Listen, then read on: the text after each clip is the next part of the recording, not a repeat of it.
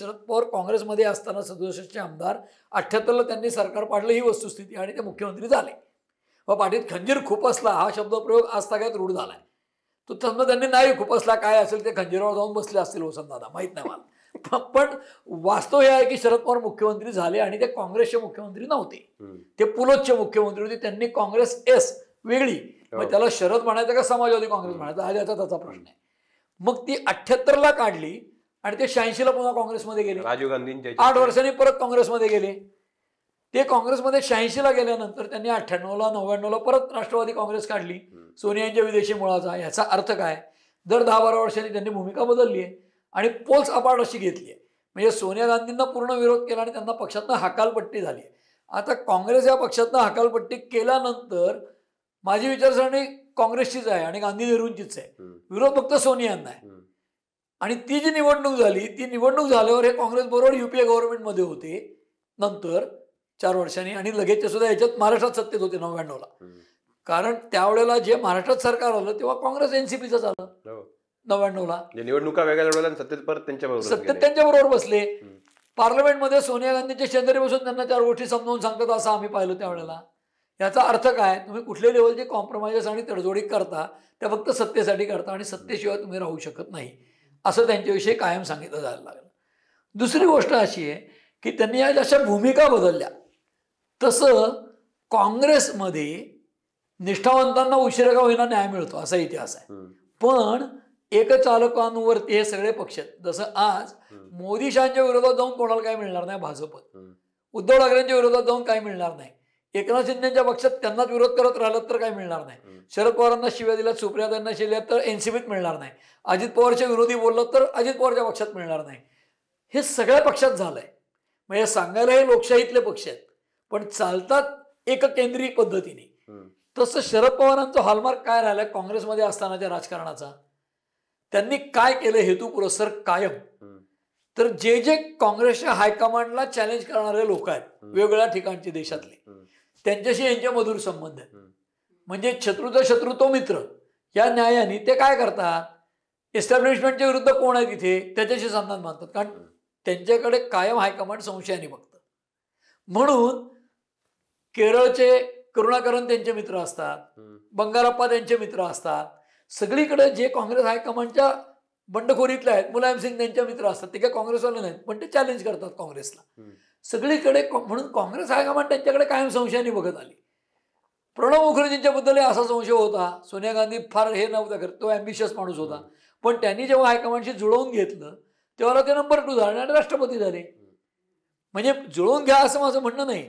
पण जसं एखाद्या संस्थेमध्ये प्रमोशन इन्क्रिमेंट या सगळ्या भानगडीत जो बॉसच्या विरोधातला आहे पहिल्यापासून असं वाटतं की एकूण संस्थेच्या विरोधीच कटू बोलणार आहे. हे ते काय सगळं नीट नाही अमुक नाही तसं नाही. तुम्ही बघत असाल. तर तो माणूस ब्लॅकलिस्ट होतो किंवा तो लेबल होऊन त्याला काय प्रमोशन मिळत नाही मग अन्याय होतो काहीतरी होतो. आणि मग तो डिस्ग्रंटल्ड एलिमेंट्स एकत्र करतो. तसं त्यांचं काँग्रेसमध्ये होत गेलं. मग काय झालं? तुम्ही ती प्राईड दोन्ही बाजूनी बघू शकता. काँग्रेसमध्ये राहून ते मोठे होऊ शकले असते का? तर विठ्ठलराव गाडगिल शंकरराव चव्हाण असले लोक त्यांना इथे खच्ची करायचे. त्यांचा वापर हायकमांड करायची. त्याला तोंड देत ते मोठे होऊ शकले नाही हायकमांडच्या जवळ ते होऊ शकले नाही. कधीच. त्यांनी संशयानेच पाहिलं त्यांच्याकडे कायम. तसं शरद पवारांना महाराष्ट्रातली प्राईड काय आहे? तर इंदिरा गांधीला चॅलेंज केलं. त्यामुळे एक स्थान वाटलं ना आणि हे त्यांना पक्क माहिती होतं की मी जर त्यांना चॅलेंज करत राहिलो तर इथे मोठं होईल. आणि ते मोठे झाले. पण ते मोठे होताना त्यांनी क्रेडिबिलिटी वाढवली नाही ट्रस्टवर्दीनेस वाढवला नाही. म्हणून इतर सहकाऱ्यांना जे त्यांच्याविषयी ट्रस्ट वाटायला पाहिजे तो कधी वाटला नाही. हा माणूस केव्हाही आपल्याला आपली पण वाट लावू शकतो. अशी एक भीती असते. अनेक लोक म्हणतात मुंड्यांच्या घरामध्ये धनंजय मुंडे बाहेर पडले त्याच्यात त्यांचा हात होता असा आरोप केला जातो. ठाकरेंच्या घरात राज ठाकरे बाहेर पडले ते लंडनला त्याला भेटलो होते वगैरे असे आरोप केले गेले. आणि हे सगळे लोक घरं फोडली म्हणतात तुम्ही काही घरं फोडली हम्म. आज त्यांच्या घरात तेच होत मी तुम्हाला सांगतो मी त्यांनाच हा प्रश्न विचारला होता ठाकरेंच्या घरात जे झालं मुंडेंच्या घरात झालं तुमच्या घरात होणार नाही का. त्याच्यावर शरद पवारांनी उत्तर दिलं होतं की आमच्या घरात डिस्ट्रीब्युशन ऑफ लेबर किंवा श्रम विभागणी किंवा कामाची विभागणी स्पष्ट आहे. सुप्रिया दिल्लीत काम करेल अजित राज्यात काम करेल त्यामुळे कॉन्फ्लिक्ट ऑफ इंटरेस्ट होणार नाही. सुप्रिया कायम तिथे काम करेल. आणि अजितदादा इकडे करतील. आणि आज ते त्यांच्या मनातलं बोलून गेले जाऊनच्या सभेत. की मला महिला मुख्यमंत्री करायची पहिली महाराष्ट्रात. आज शरद पवारांच्या डोळ्यासमोर असलेली महिला कोण असेल?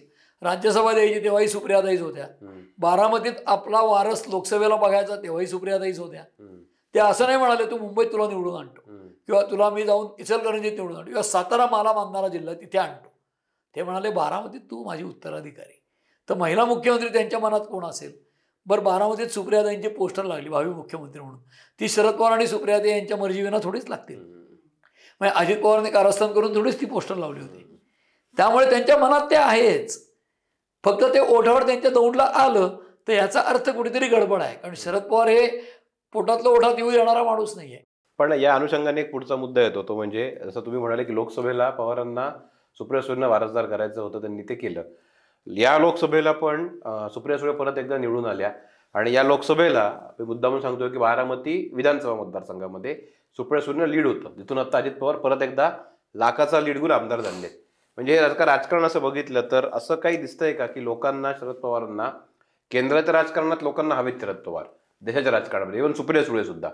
पण जेव्हा राज्याचा विषय येतो तेव्हा बारामती सकट महाराष्ट्र जनतेने सुद्धा कुठेतरी अजित पवारांना शरद पवारांचा वारसदार मनातल्या मनात मानले. त्याचं कारण असं आहे की मुळात बारामतीतल्या जनतेला ही गेली तीस वर्षाची सवय आहे.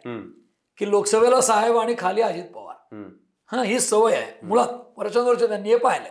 त्याच्यात अचानक बदल करणं बरं तो बदल करताना अजित पवारला पर्याय काय तर युगेंद्र पवार की ज्याचा काही संबंध नाही. त्यांनी सुप्रिया सुळेंच्या इलेक्शनला काम केलं. पण ultimately he was asking vote for Supriya. लक्षात घ्या. तो स्वतःसाठी नाही. सुप्रिया त्यांना ते देतातच ना मत. त्यामुळे ती विभागणी आहेच की लोकसभेला साहेब आणि खाली अजितदादा हे मनात आहे. पण बारामती हा त्यांचा नर्चर केलेला भाग आहे साठ वर्ष. म्हणजे अनेक गोष्टी त्यांनी केल्यात. हम्म. म्हणजे या तेरा तालुके पुण्यात आहेत पण जुन्नरला विना वाहक विना थांबा बस जात नाही आणि स्वतंत्र शेड नाही आहे शिवाजीनगरला. पण स्वारगेटला आहे स्वतंत्र शेड बारामतीसाठी. पण बारामतीचा विकास त्यांनी प्रचंड प्रमाणात केला. Model village. देशात अशा शंभर बारामती तयार करायच्यात असे अरुण जेटली म्हणले. आणि मोदी जेव्हा चौदा साली पंतप्रधान झाले तर व्हॅलेंटाईन डेला तिथे आले होते नेमके. युवक साधून. म्हणजे आहेत हिंदुत्ववादी ते पण व्हॅलेंटाईन डेला तिथे आले होते. कारण त्यांना माहिती आहे ही चर्चा होणार. व्हॅलेंटाईन कोण? शरद पवार मोदींची.